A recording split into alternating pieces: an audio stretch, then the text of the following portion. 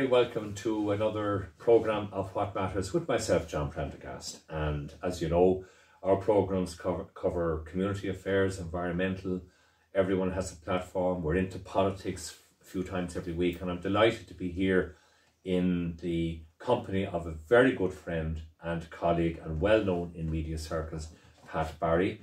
I want to say a very special thank you for production, editing, uh, Mary Honan as well, who is extremely well known and very hard working in the media circles. So delighted to be with you both.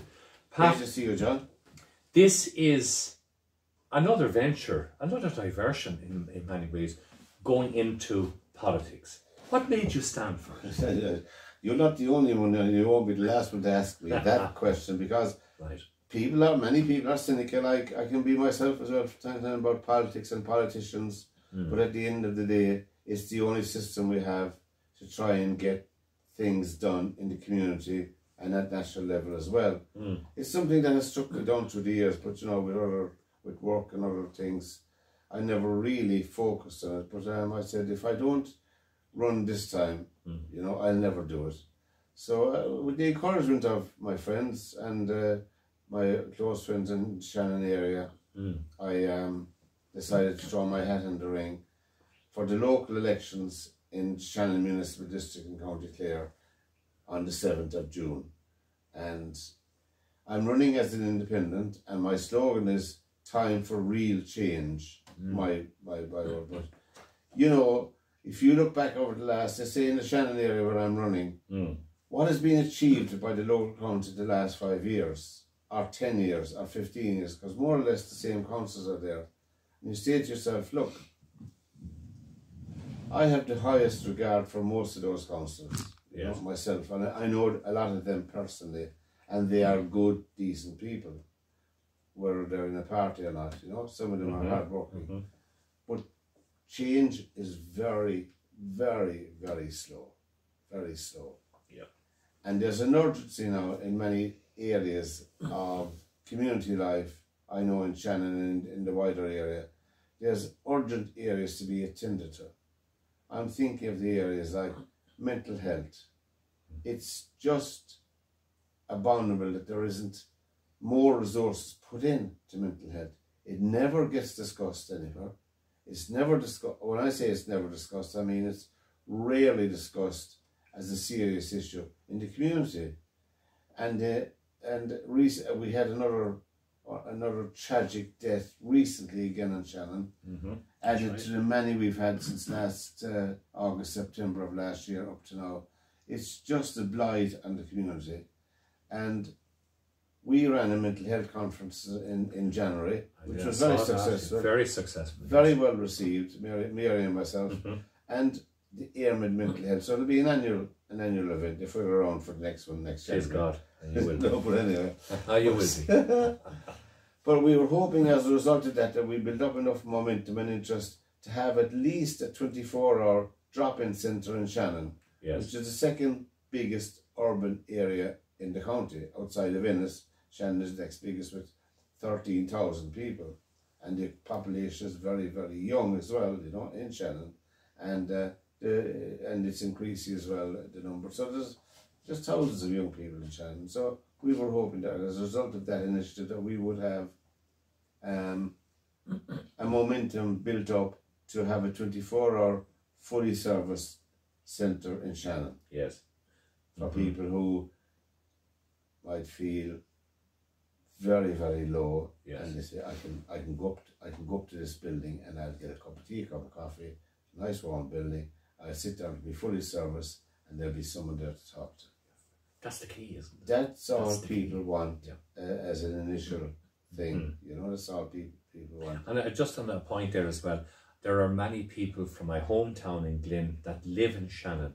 And the one thing that they're coming across all the time, is there's a fantastic community there. There is. Yeah. A great community spirit there. And that's lovely to see. And you're going to tap in or try, when you say time for real change, is to give more proper services to the great people of Shannon. And people say to me, uh, well, a council can do nothing, a councillor by themselves can do nothing. And I wouldn't look at it like that at all. I mean, if people decide to give their trust to me and, and elect me in the council, I'll be able to work on a 24 full-time basis. Yes. I'll be able to give my energy and my uh, advocacy to, for on a 24 hour basis for that. But you get it on the claw, you get it on the agenda, you get the, the whole area mental 24 hour drop in video channel onto the floor of the council. That's the Yes. first step. Mm-hmm. When you get it on the floor of the council and you get support, you win support for it. That's how things get done. I, it's the only system we have, and we have to try and utilise it to the best of our ability and build support, bring along support with you as well, you know, for that initiative. And I would see it once it gets on as a motion and it's a, it, it, it can be advocated for up along the chain then into the floor of the Dáil, etc. and all of that. Yes. And that's how you do it. I know it's frustrating and people are waiting. God, you know, I wish things were different, but they're not. And uh, unfortunately, you know, And and the one thing there is um, just on mental health is so so important and personal to many many families in this country because from drug addiction comes depression, from cost of living crisis comes depression, losing their homes, losing their jobs, and does it does it infuriate you, Pat, to listen to the what's the word? The continual word of positive. We're a very rich country. Um, you know, there's people um, driving new cars and there's great wealth in the country. And one particular on a Claire Byrne show, I very rarely actually listen to RT, but that's a personal thing. Um, but uh, one thing she said was a small cohort of people are finding it hard to make ends meet. I think that's a disgraceful insult. It's a major cohort of people. well, look, I, listen to all media, you know, I, I know, yeah. across the board, across all platforms, both radio and TV. And you do get tired of crowd jumping, as I call it myself. You do get tired of the same bland statements. The, and when I hear we are a very rich country, of course we are. We, you and I, we, I, we'll acknowledge that. We might never hold it ourselves, but we'll acknowledge we are. Rich in what? Good point. What are, are, are the riches of the country being spent properly? No. Are the resources that we have, we say we have, being spent properly? no. You didn't look at who is spending them on our behalf, Mm. And you look at this state that we're living in. Uh, the ideology of the state and the social policy of this state has been driven by Fianna Fáil and Fine Gael since the foundation of the state. Centre right and right wing, whatever you want to call it. Look, labels mean nothing really. No, There are many decent people, as I said, in politics in, in those parties. There are many decent people across the board. The, the, the, the ideology driven parties, nothing has really changed. When I was growing up in North Cork, where I grew up in, when there was nine of us in a, in a two bedroom house, eight of us, or seven of us before we moved, seven kids and my mum and dad, hmm we had the same problems. We're a very wealthy country. Yeah. Just get on with it. But that, that's not good enough anymore. People are educated. People are more aware. Yes. People are living lives in, in Shannon Town, where I visited a lot of houses since I declared, and I've been invited into a lot of houses. They're living lives of quite desperation. Yes. I visited uh, two ladies during the week, and uh, they can't go in their front door or out their back door. It's a holding place, whatever is on with the water table around their house. They're pensioners Yes. themselves. One of them was on a walker. I, I was laughing, she was laughing, and I was laughing, you know, as well with them. They had a sense of, you have to have a sense of humour when, when, when adversity strikes, I suppose. It'll get you through somewhat to the next step. But I, I couldn't understand why that situation is there for so long. Mm. It's a small thing. It's a small thing. But as we know then, when you look then at County Clare, there's 140,000 people living in County Clare. It's small. hmm There's 996 people li- employed by Clare County Council to carry out the work on our behalf, to look after the communities and look after the facilities around us as well. Mm. Now, I, I don't understand a mentality whereby this situation is there and you cannot make a phone call. Of course, people are not going to come out just straight away. People don't expect people to come out just straight away. But in the old days when I was growing up in the councils, when we were walking to school, and you would say the same for you, John. You see workmen out on the road, uh, cleaning the drains. I, yes, I cleaning yeah. the, the water I remember it very off, well. off Yes. road. Mm-hmm. There's none of that, no. No. The, the county council, say in County Clare, they don't they don't they don't supply any service. They're all out to their private companies. Refuse, water, everything is out. out Yes. the door. Nothing. There's, there's one thing that struck me, and I, I referred there to Mary Honan's appearance with uh, Katie Hannon the other evening. And well done, Mary, you did a great job.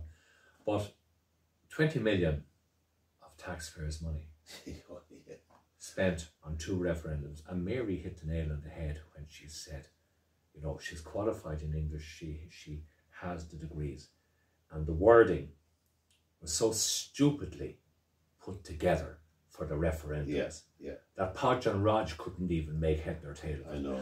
But Pat, where is it gone wrong? Because, like, Mary and yourself are very sensible people. You see it on the ground. Hmm. But the one thing is, with the advisors, the government advisors, the ministerial departments, all being paid individually 150,000, 200,000, and nothing. It's an absolute mess. But John, I think I think some of it is uh, the men- the atmosphere you live in. If you own a pub Mm. and you socialise in the pub that you own and you have your customers, on your night off, if you go to your friend's pub Yes. to socialise, you're in the same environment, Mhm. the same ideas. When you're uh, in politics, or like any profession, politics particularly, you hang around with people you you you like. Yes. no matter what party they're with. And so you're in that bubble all the week. You come back and so you have clinics, you meet people. But the referendum to me brought out a whole, uh, uh, which is just no surprise to me, by the way. I Mhm. was not surprised by it. I'm not saying after the fact. I expected to be to be heavily defeated Yes. both of them, and they were. And the fact that some politicians were shocked, Mm. it was a double whammy Include the Taoiseach and the Taoiseach. because whole communities have been affected by their policies. Small communities in every county in Ireland has been affected by their policies. Their policies on immigration. Now we've we we have been immigrants. I was an immigrant myself. I had no choice to get out in the early seventies and work and go abroad and get work. And we've always been hospitable people to bring people in, to look after them. We brought them in, we'll bring them in today and we'll bring them in tomorrow. But there has to be uh, an order to everything. There has to be an order to everything. On that, Pat, what do you think? A lot of people would listen to your views on this.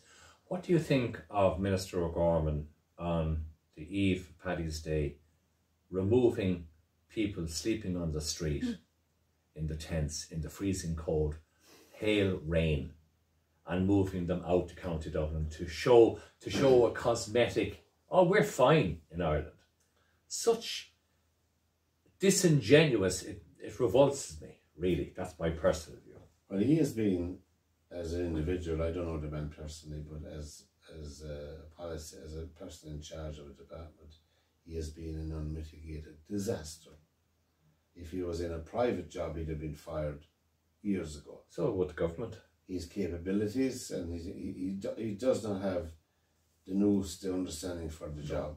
Every single thing he does is a fire brigade tactic. You know, no communication. With if you bring people in, they have to be housed. We have obligations uh, under international law to bring um, people fleeing wars and all of that into the country. We have obligations under those particular treaties. Yes. But to bring people in, to put them on tents on the street, that's not a policy. That's a sticking plaster. That's not fair. no. That's not fair on the people coming in, and it's not fair on in Dublin either, where they're out in, with no no toilets, no Nothing. washing, nothing. Nothing. I, I I can't even think how in the name of God do they live like, but that is reflective of the malaise in the government. I think every government I've seen plenty of them, and you have to. Oh God, yeah. there's a natural ending to some governments. You know, they, they, they've, they've run out of pep, they've run out of energy, they've run out of steam. And I think there is a tiredness Yes. in in in that coalition now because Fine Gael have been with Fianna Fáil and Fine Gael have been in government with everyone actually, Yes. except Sinn Féin. They've been in government with everybody in my lifetime, Mhm. you know. And uh, you know, Fine Gael, Fianna Fáil, and people like well, Varadkar's gone off the stage now. People like Micheál Martin, people don't listen to them anymore. That's a very good point. The people are not listening. No, It, it's gone. I, ra- I read a, a very good um, article by David McWilliams in the Irish Times. Uh, it's two weeks old, but I only got a chance to read it this morning before coming in to meet you. But what he says about, you know, I know you, you, you like, if you like RT, but I, I have an axe to grind and a very serious public one. but um, no, I, I, I do. But Yeah, it, yeah. It, it, it's it's the fact that we have a minister of for media who is a thundering disgrace, and I say this publicly, for allocating your tax money, your tax money, all our tax money to RTE, who are a thundering disgrace themselves. Now, you made a very good point that if this was uh, Joe Blog company gone into Well, you see, liquidation, I, RTE tried to do the right thing, Mm. in my opinion, when the whole hullabaloo about the I know, what yes, was it? What was that? What was that account? Was it the the b- barter account. the voucher account? I never. Oh I- yes, yeah, yeah. I, I'm pretty sharp enough. I, I like to think in maths and finance and all that. I, I have an understanding of it. I never before in my life heard anything like that. Yes. But anyway, so be it. Now Bakhurst, to me, Mm. was the wrong man for the job. He had been there before. He is he's part of the circle. He has friends in there. Yeah. So when when uh, uh, uh, when I um, heard of his appointment, the first thing I said, nothing will change much in RT under him. Dead on. You know, and Can I just So- ask you another question while it's in my head? What do you think of, um, I've heard some names in Limerick about the incumbent uh, Taoiseach, but I, I won't repeat them on air. But leaving that aside, um, what do you think of uh, the incumbent Taoiseach when he said last night, I'm able for the job, I'm up for it, I'll serve the country, and yet he didn't serve it with the Children's Hospital overrun of millions and millions. God, I don't. People don't know how much that'll be. He, he no, but he misled the Dáil. It's on record. He misled the Dáil. Secondly, about um, the the abortion referendum and all of that sort of thing, he he did not handle it in an exemplary, qualified, professional way, and you know, I there's a terrible doubt about him. Now, Leo Varadkar has been investigated by many times by SIPO and all of Ah, that, as you know, and uh, they've, they've they've gone around in circles. I mean, that that's it. Yeah. Particularly with the doctor, the new doctor's contract. Yes, I mean, he should have lost his seat. He should have been fired. yes, If he wasn't across the water in, in, in, in the other parliament, he'd, he'd have been forced to step down. But long ago. That's water under the bridge, you know. You can't keep going on in circles and having endless inquiries.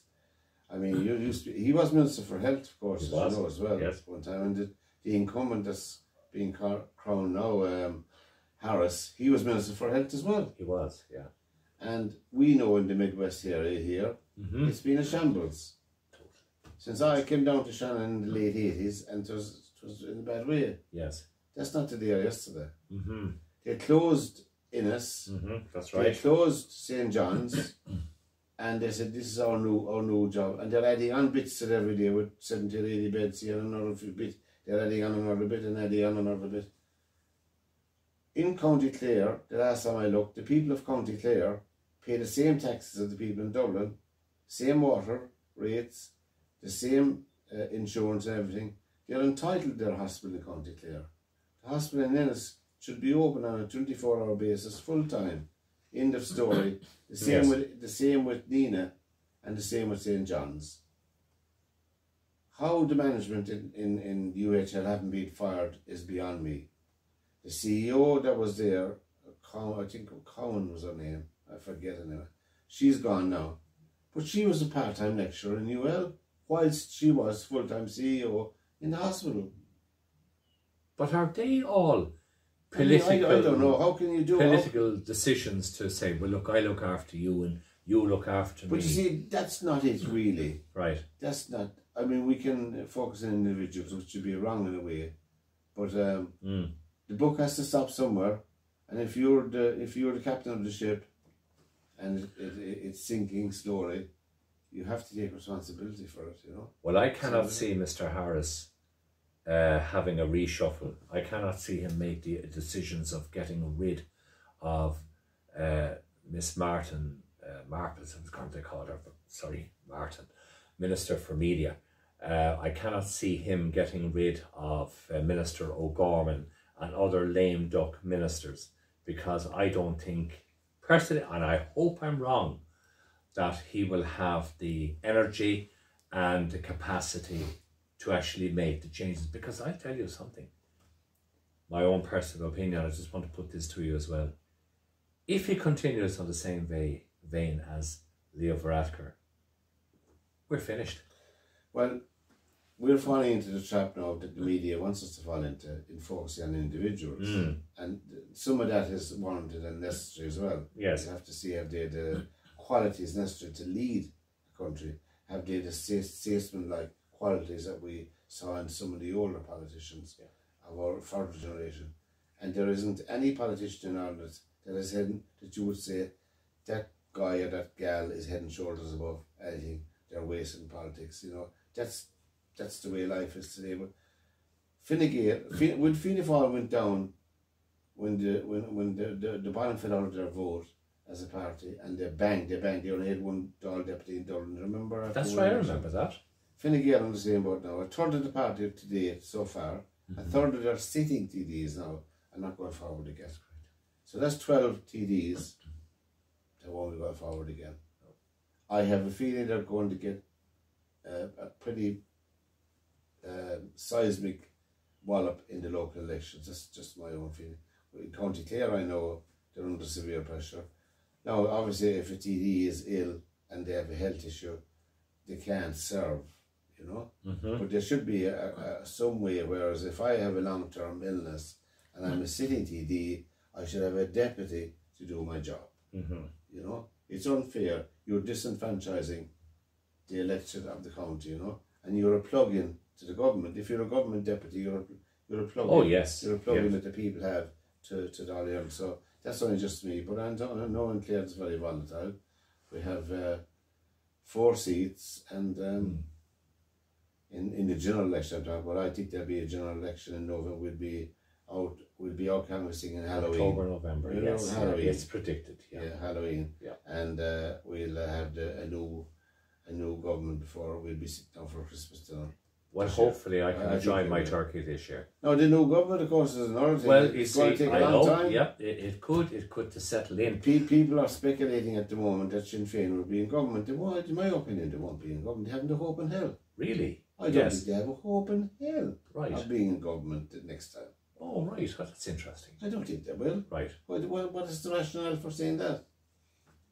I don't know. I'll leave that up to you to answer that. I mean, how, how, how many inspirational politicians uh, can you name in the Sinn Féin party that would say, I'll follow that person? Mm. I will certainly do my best to put my shoulder to the wheel behind that person or persons and, and that ideology. What do they stand for? Are they left or the right? Are they centre left, centre right? Are they social democrats? What are they? I think the fear is among the electorate that they're still the highest rated party, even though they have dropped. John, you saw the polls. They Yes. said the two referendums, these polls said the two referendums will be passed by 60 and 55%. Yes. 75% no. Going on 80%. So I, I, the polls to me, I forget about them. Oh, well, the polls, no. No, you are right there, actually. They're, they're only a snapshot, like Yeah. a, a photograph. Um, there are so many things I wanted to talk to you about, but I'm going to come back to them um, when we do our next uh, interview. but when, when you're elected, yeah, yeah. and you will be, I like that line, yeah. no, I, I will come back to you, you know. yeah. But, My um, diary will be full in, John. what? My diary will be full in. When I, I'll ring Mary Honan and she can book me in. but um, there is one important point. Uh, I know about the bin waiver scheme because God knows we, we all need it. Yeah, it's something I was. I just because they have it here in this county, County Limerick, Mm. and uh, it's something that I would be absolutely committed to Yes, to have because the cost of living is brutal. It is. It's Yes, brutal, and it's not spoken about enough either. You know, there's so many things, but the cost of living impinges on everyone. We have the proliferation of food banks all over the country yes, in a very rich country. hmm We have one in Shannon. yes, I think there's two in Ennis, and there's a few more around the place. And we know a good friend of ours up the country in Tullamore. yeah, Uh, Ken Swannon, if you're looking at this there, we, we do think about you. We may not let you know uh, plenty times, but he's a very, very, very good man. And uh, we hope everything is going well for him. He's not very well, but we Right. hope everything's going And you're in our thoughts, Ken. But uh, the Yeah. bin waiver scheme would really, really help people. It's a small thing, yes. but you know, it would help people. And I think it's something that we should uh, I'd certainly be advocating for anyway. You Good know? man. I think that's going to go down very well with uh, constituents that you, you are covering. The, the the hospital issue is very serious Yeah, because closure of you said Johns and Ennis for goodness sake they should be there should be open revolving doors there to, to help with the capacity issues. of course I should. you know. But one other thing as well, and it's very important, reduction on rates. That's a big one, the property tax. I was uh, talking to a businessman in Yeah. uh, Shannon, Shannon Town Centre, if people are familiar with it, and that there's there are, there are as many empty units as there are full ones, and then it's it's replicated all over the country, you know. Yes. And we we, uh, we in Shannon we deserve better as a community. We deserve better. There's no doubt about that, you know. We should raise the bar a bit, very high, and Okay. aspire to something higher than what we're used to. Yes. That's the way I see it, you know. And uh, this man, I was, I, I knew his father as well. He, the son is running the business now. I won't say what it because if I say what the business is, everybody will know who it is. Yeah, right. But um, he said to me, I was just talking to him, just I was telling him, and he was, he said he saw my one a couple of my videos up about it, and I said I was. He said, "What about us? There's no one talking about us." And I, I had to stop for a minute. The, the, the, the small business who, who employs two or three yeah. full time and three or four Yes, part time people yes. Mm-hmm. who who's the lifeblood of the economy. They're the lifeblood of the local economy. Yes. I said, yeah. Local property tax will be will be will be something something. Now, before he opens his door on a Monday morning, he has to find three thousand euro roughly. The first three thousand euro he takes into his till is owed. It's not his. When you accumulate insurance, when you accumulate tax, Mm. rates, water charges, when you put them all together, and rent, and uh, security, all built in, and refuse, refuse, the whole lot. My, I was got, I was looking around uh, his shop. I was saying, three thousand. He would sell about uh, one or two thousand boxes of Yeah. jump tax or whatever. Correct, yes. And I was saying to myself, How are they doing it? but he always he opening his door.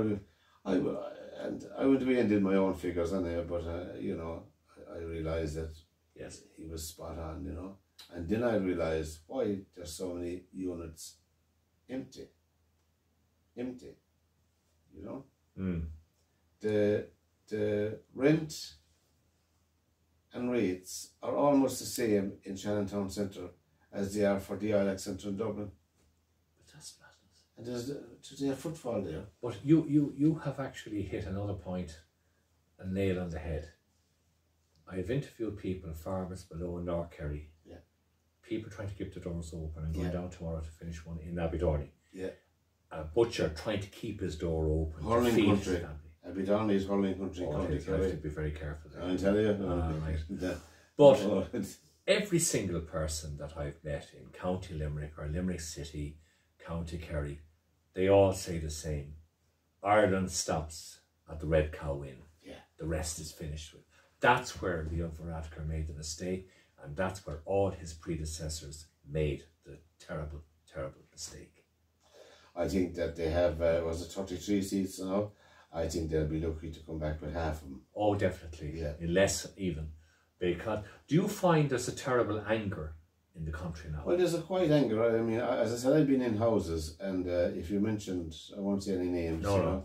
know, uh, we don't, we, we don't have enough money to be sued. You'll be thrown out the window. yes. and there is an anger, but it, there's a simmering unrest, and there's a simmering. Um, oh God, I don't know what word to use. You know, disquiet. Disquiet, maybe, yeah. John, and um, and it's not one thing; it's two or three things yeah. together. Mm-hmm. And some of it is the disruptions of people's lives. Some people never really recovered since the since the, the appalling time we had during COVID. Correct. Some people haven't recovered no. fully from that, and that has to be acknowledged, really, you know. And and they've they've they've they're semi-reclusive. They never really emerged fully from COVID into yes. what we call not what I don't know what normal society is now, but well, I think I do. But we're still normal. I haven't a clue myself. You know, there are people living in Shannon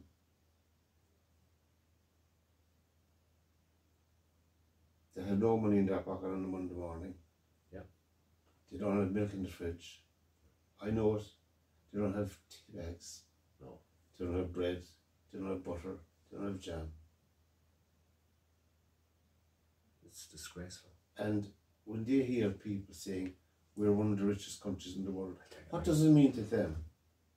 I go ballistic. I went into a house with, oh God, I nearly, I, I, I nearly cried out of it now. Yes and he, yeah, terrible, terrible. I, I can't even describe it. In Shannontown in 2024, with two small kids, black mold everywhere, a broken window, a fridge not working, one two bar heater in the room, in the house and paying through the nose.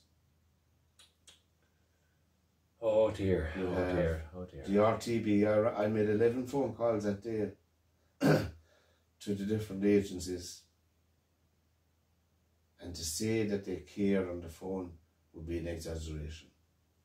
Now, I was able to do it because, uh, but if I was him, or in that situation, yes, you're just so beaten down you're trying to get put shoes on your kids' feet to go to school. It's awful. Now, if I know that, mm-hmm. and I'm only going around since mm. I launched my campaign, it was last December, the 4th of December. If I know that only since the 4th of December, how many more people are aware of those situations? And what are they doing or did they do about it? I don't know. I know you can't put out all the fires. I know you can't do that. But surely you could do something. But you see, Pat, I wonder, and this is not an excuse because I wouldn't cover those people or pretend even to, to make excuses for them.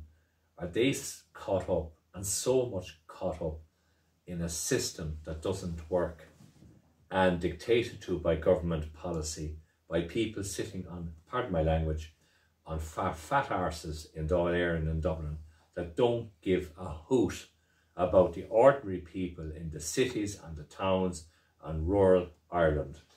And this is where you will make that difference, Pat. There's some truth in that, John. There's some truth in that.